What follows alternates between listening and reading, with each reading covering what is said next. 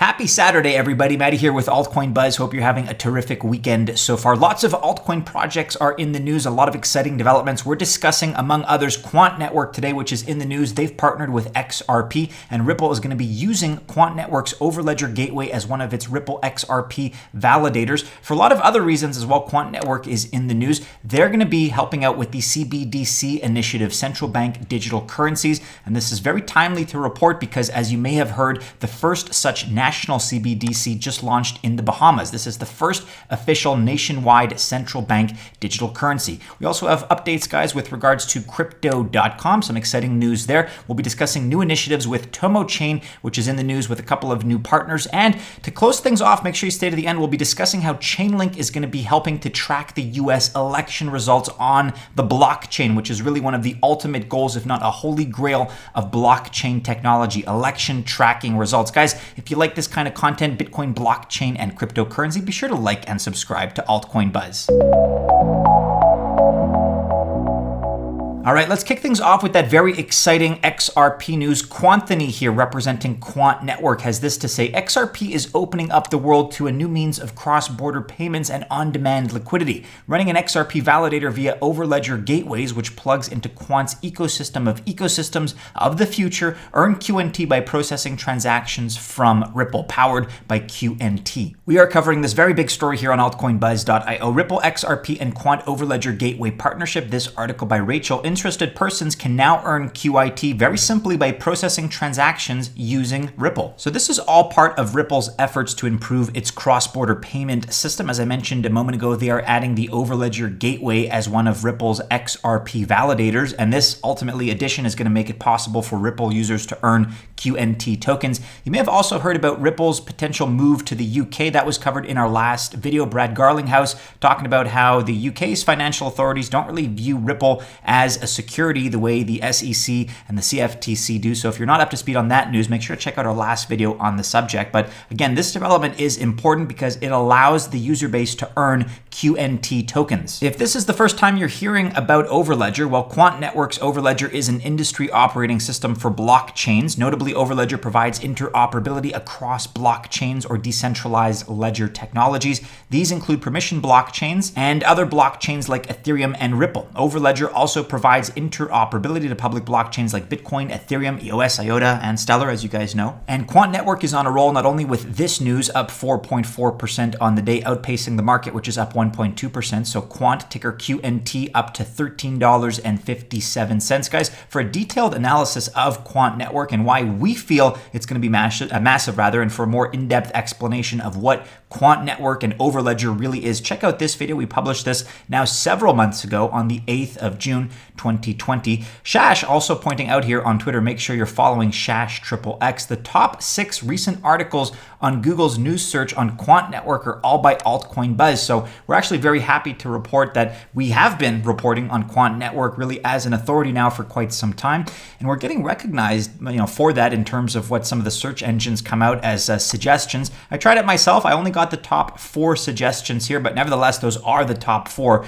So do be sure to check out Altcoin Buzz for all future Quant Network news going forward. And a very big kudos and a hearty congratulations to the team for their judicious and detailed reporting. I would very much suggest you guys follow Quant Network on Twitter at quant underscore network. They describe Overledger as the world's first blockchain operating system, and that's a good way to think about it. But here with very interesting CBDC news, we have SEC, that's at crypto SEC, with this series of tweets. CBDCs are going to completely overhaul the global financial system. The biggest change since Bretton Woods, an interoperability and standards are going to be key. Quant Network have laid the foundations for Overledger to be global infrastructure for CBDCs. And if you guys aren't familiar with CBDCs, we're talking about central bank digital currencies. This was very much a discussion that started really last year with Facebook's Libra, but unfortunately, because of distrust that Washington and politicians and really the general public had for Facebook and Mark Zuckerberg, that didn't really go anywhere with some of the congressional testimonies that we had. And now we're seeing other players like China very much wanting to fill that vacancy and get into that first position with the first mover advantage on CBDC technologies. They've been piloting all kinds of projects with banks out of China. So SEC continues here. 80% of central banks are now actively researching the deployment of CBDCs. The decline of cash usage, global stablecoins like Libra, COVID, and the need for lower cost, faster payments have all rapidly reduced the time at which CBDCs will be implemented. In other words, that pace of change is itself accelerating. And here you have SEC mentioning Raoul Pal, who recently did an excellent video explaining the profound change this will have and encourage everyone to watch. Also, the highly anticipated interview with Gilbert Verdian is due to be released this week on Real Vision. Raoul Pal, full disclosure, is the CEO of Real Vision. Now, Gilbert Verdian is the CEO of Quant Network. That's the tie in. Many of you likely already know that, but in case you didn't, and he had the vision to see how blockchain and CBDCs will revolutionize the global financial system and therefore founded Quant Network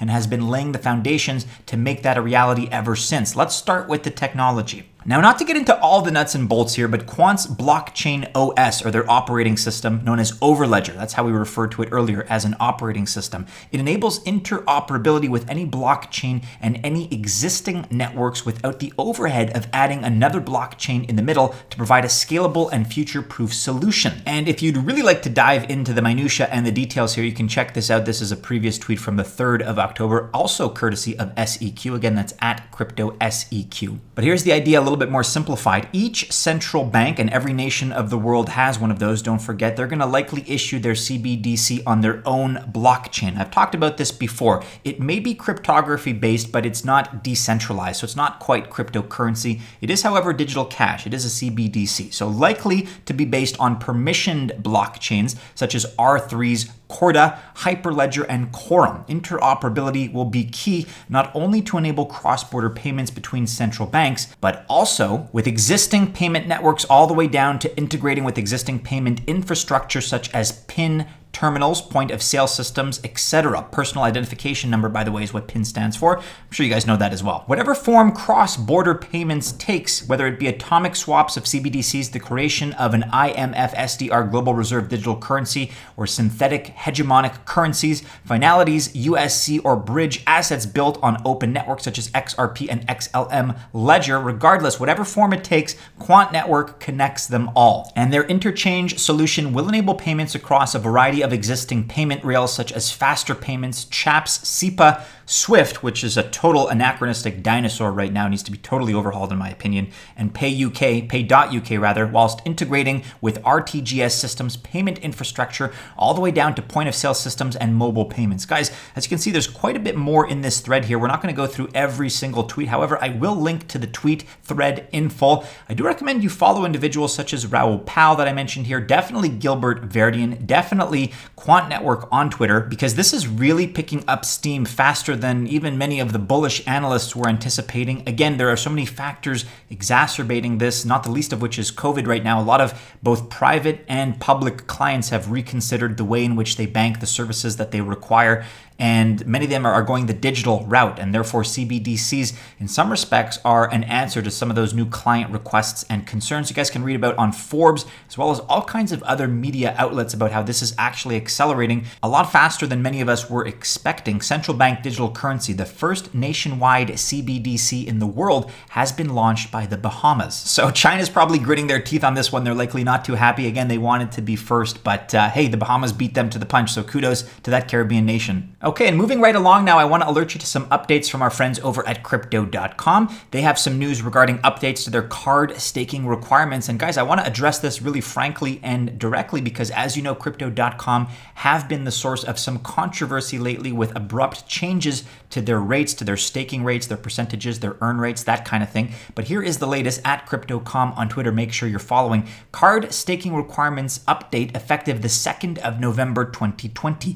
Upgrade fees waived now through the 2nd of November. And here are some of the benefits. You can get a 100% rebate for all of the following your Spotify, your Netflix, your Amazon Prime memberships, and others, up to 8% cash back instantly and up to 12% interest on your card stake. Plus, after all, you're getting a premium metal charge card. And for all the details, you can check out blog.crypto.com for more information. Next up, we have some pretty encouraging partnerships to discuss, two actually with Tomo Chain, the first of which is Ramp DeFi DeFi, who are excited to announce their partnership with Tomo Chain for stake farming and cross chain liquidity unlocking. So, you guys know all about Tomo Chain by now, and hopefully, this partnership unlocks some synergies because Ramp DeFi focuses on unlocking liquid capital from staked digital assets, and their solution allows Tomo users to extract additional liquid capital without giving up their staking rewards or capital appreciation potential. So, using Ramp smart contracts, users collateralize their Tomo into a native stablecoin, Tomo USD, on the Tomo network. Users then exchange the Tomo USD for RUSD, which is, by the way, a one to one representation of stablecoin value on the Ethereum network. And for you all out there in the altcoin buzz army, if you are currently a Tomo holder, here are some of the benefits you can anticipate from this partnership with Ramp. Number one, you can retain Tomo staking rewards. Number two, retain capital gains potential on holding Tomo. You can gain access to liquid capital to invest in new opportunities without needing to inject additional capital. And finally, you can earn ramp tokens and enhance asset yields by actively participating in the ramp ecosystem. Lawrence Lim is the project lead over at Ramp DeFi. He had the following to say, quote, "We are excited to partner with Tomo Chain as they have all the foundational DeFi infrastructure required for Ramp to be successfully implemented on. The native Tomo token also has substantial token trading liquidity on leading exchanges and a friendly staking program, which makes it an excellent fit for integration with Ramp." And Tomo Chain here getting a nice boost from this news, up 3.1% on the day to just below 68 cents US. The market is up, I should note, 2.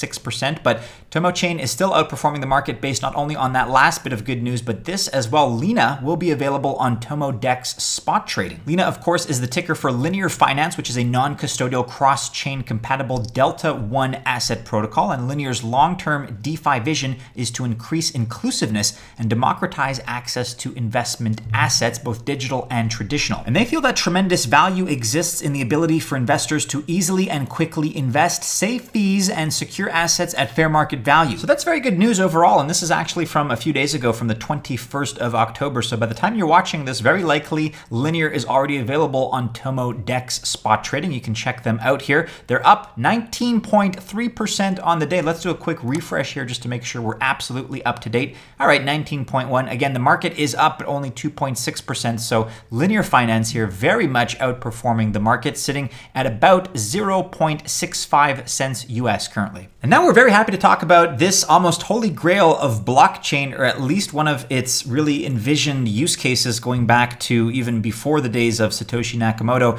in terms of a technology, some type of practical ability to track fair election results in full transparency. This has been a promise of blockchain, but as you know, we've kind of gravitated more towards this internet money for whatever reason, but there's so many other applications that exist, and Chainlink now is stepping up to the plate here on cryptonewsflash.com new product to track US election results on the blockchains. It's called Everipedia, and it's going to use Chainlink to enable the publication of US election results in association with the Associated Press. And so, in a recent press release, the Associated Press, the AP, and blockchain company Everipedia announced their new partnership, and the goal will be to use a new product that leverages Chainlink technology specifically to publish US election results on the blockchain. And the partners emphasize the need to create verifiable sources of information. And specifically, Specifically, the product that's been developed by Everipedia is an Oracle as a service platform called Everipedia OraQle. That's spelled with a Q, as you can see here. It has been created to, quote, solve the problem of oracles in the blockchain. Therefore, it offers its users sources, quote, cryptographically signed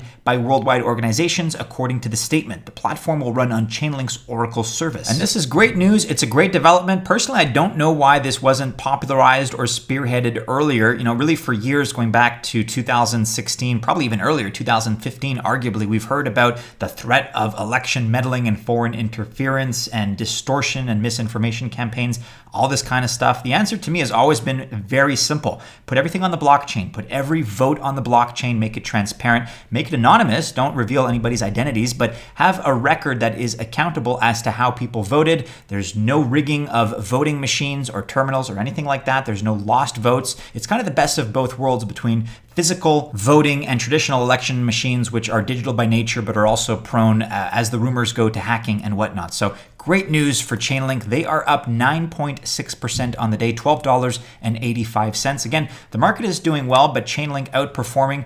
Now $12.90, up even a little bit more. We also have this quick news about Chainlink here on investing.com. They have brought verifiable randomness to Ethereum mainnet, keeps other chains in sight. So here's the update. This is a bit of a weird headline, but Chainlink's verifiable randomness function, or VRF, has made its way to the Ethereum mainnet, and VRF will provide a decentralized source of randomness for the project's decentralized ecosystem. Now, if you haven't heard about this before, I, I don't blame you. I, I can't really say I have either. It's a little bit more of a technical term, but a trusted source of randomness is essential, the article continues, for many applications such as those in the gambling and gaming industries. And Chainlink's co founder Sergey Nazarov told Cointelegraph that many blockchains beyond Ethereum, such as the gaming focused Matic network, are interested in deploying the project's VRF. So this may not be the biggest news, but I would say a score and an assist here for Chainlink. Definitely this election news, this association and partnership with Everipedia and by extension the Associated Press is a major win. Let's see if it can set a precedent for future elections. I'm really excited about this news. I think personally, and I've said it now for years, this is one of the biggest and most important applications that blockchain technology has to offer. All right, everybody, that about wraps it up for today. Hey, make sure you're following us on all the regular social media channels and keep checking back into altcoinbuzz.io for all the latest because the news never sleeps. Guys, if you enjoyed this video, go ahead, like, subscribe, and share. Also, hit the bell on YouTube to receive notifications. That way, you are alerted to all our content as it comes out. You are notified it just makes things easier. Stay safe out there, everybody. First and foremost, that is the most important thing. But best of luck as well if you choose to invest on this Saturday, on this weekend. Have a great one. And as always, we do hope to see you again soon in our next video. Take care.